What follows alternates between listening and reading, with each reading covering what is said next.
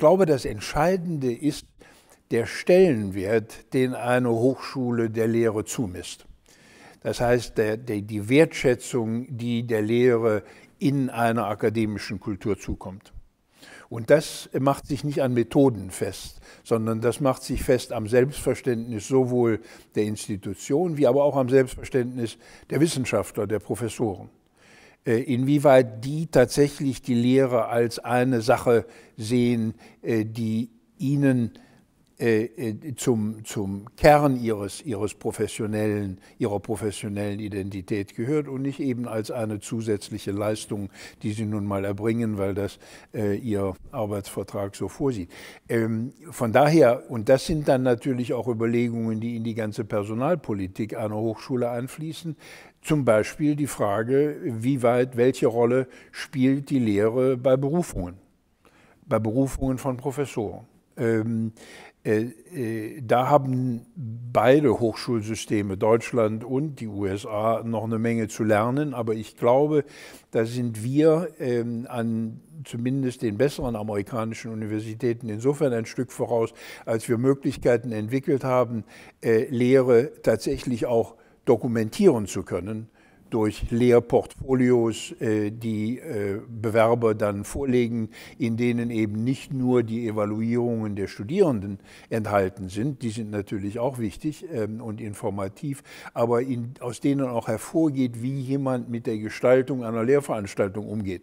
Mit der inhaltlichen Gestaltung, mit der, mit, mit der Art und Weise, äh, in der Material zusammengeführt ähm, und, und dann auch wieder analysiert wird. Also diese Fertigkeit, äh, Inhalt, wissenschaftliche Inhalte zu vermitteln.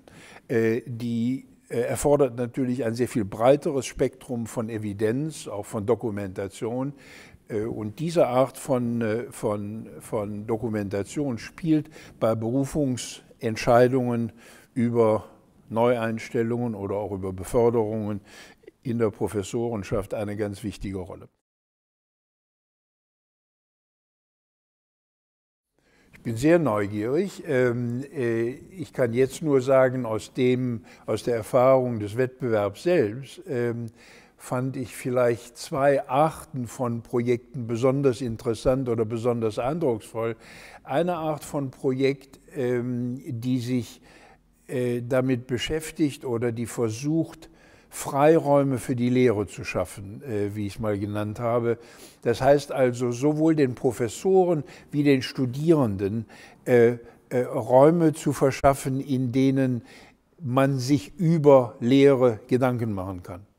Ob das jetzt ein Freisemester für die Lehre ist, wie es manche Hochschulen tun, jetzt eben nicht für die Forschung, sondern ein Freisemester, in dem man sich wirklich Gedanken über seine eigene Lehre machen kann. Oder ein äh, Bereich in einem Bachelorstudium, in denen Studierende mit, ihrer, mit ihrem eigenen Lernen experimentieren können, mit Anleitung oder ohne Anleitung, je nachdem. Ähm, außerordentlich fruchtbar, äh, das eben halt nicht curricular durchstrukturiert ist, sondern das tatsächlich die Möglichkeit schafft, dass Studierende sich ihre eigene ihre eigenen Herausforderungen sozusagen zurechtlegen in der, in der Lehre. Also das ist eine Art von, von äh, Bemühungen, äh, die mich besonders beeindruckt haben und bei denen ich besonders daran interessiert bin, was denn dabei herauskommt, was denn Leute mit einem Freisemester für die Lehre zum Beispiel anfangen.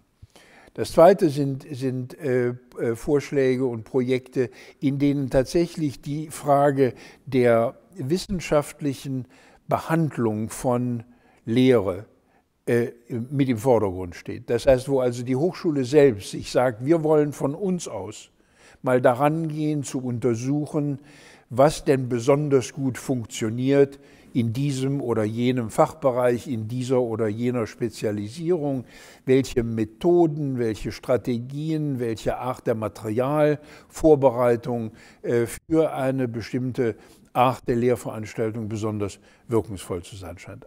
Ähm, das sind zum Teil außerordentlich interessante äh, Versuche, äh, so etwas zu tun, zum Teil auf kleiner Flamme, zum Teil in kleinem Rahmen, aber geleitet von dem Bemühen, eine bessere Wissensbasis sozusagen zu schaffen für die Beurteilung von, von Lehrqualität.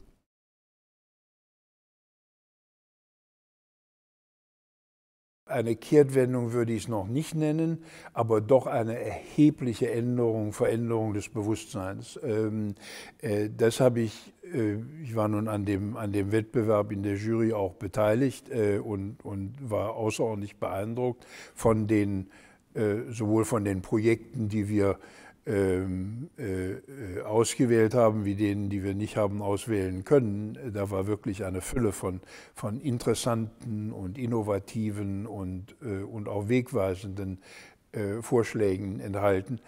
Ähm, aber ich glaube, der, der Wettbewerb als solcher und die Publizität, die er erfahren hat, sowohl an den Hochschulen wie aber auch in der breiteren Öffentlichkeit, hat sicher dazu beigetragen, dass die Frage der Qualität von Lehre in der öffentlichen Diskussion einen ganz anderen Stellenwert gefunden hat.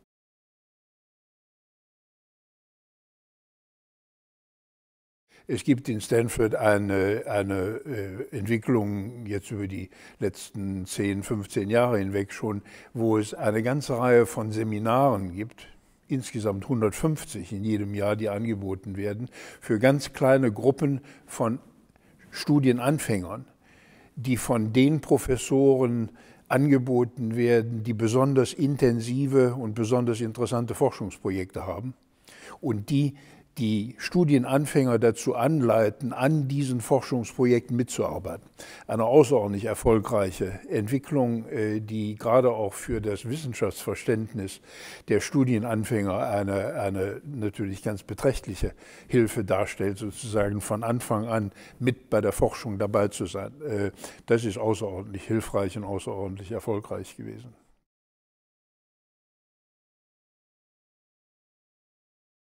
Ein anderer Bereich wäre die, ich sage jetzt mal, die institutionelle Sicherung der Qualität der Lehre, sowohl auf der Ebene der einzelnen Institutionen wie aber auch auf der Ebene des Hochschulsystems insgesamt. Was ich damit meine, ist, dass es innerhalb von Hochschulen äh, Ressourcenzentren geben muss, ähm, äh, die, in, in, die ausschließlich damit beschäftigt sind, äh, Dienstleistungen für die Qualität der Lehre bereitzustellen. Und zwar nicht jetzt nur im Sinne von, von, von, von äh, äh, Projektoren oder, oder technischen Hilfsmitteln, sondern auch von wirklichem Sachverstand über das, was in der Lehre funktioniert und wirkt. Äh, das heißt also, das muss eine Einrichtung sein, die gerade auch im Bereich der Hochschuldidaktik von Anfang an und von Anfang an, damit meine ich bereits bei den Doktoranden, ähm, äh, äh, Grund zu legen für ein vertieftes Verständnis von guter Lehre äh, an der Hochschule. Wenn die mal Professoren sind, ist es oft schon zu spät. Äh, man muss das also wirklich auch integral in die Ausbildung des wissenschaftlichen Nachwuchses einbeziehen. Äh, also das wäre auf der Ebene der einzelnen Hochschule ein unverzichtbare, eine unverzichtbare Ressource, ein solches Zentrum, das mit beträchtlichem hochschuldidaktischem Sachverstand ausgestattet ist, das auch in der Lage ist, solche Forschungsfragen zu beantworten, wie äh, welche Unterrichtsformen jetzt zur Erreichung bestimmter Unterrichtsziele besonders geeignet sind. Was auch wieder einer sehr gründlichen empirischen Untersuchung bedarf. Auch diese Art von Untersuchung muss von einem solchen Zentrum geleistet werden können. Und das müsste sich eigentlich, die Funktion eines solchen Zentrums müsste sich eigentlich widerspiegeln in einer Einrichtung, die auf Bundesebene oder meinetwegen auch auf Landesebene sich mit der Qualität der Lehre beschäftigt. Musik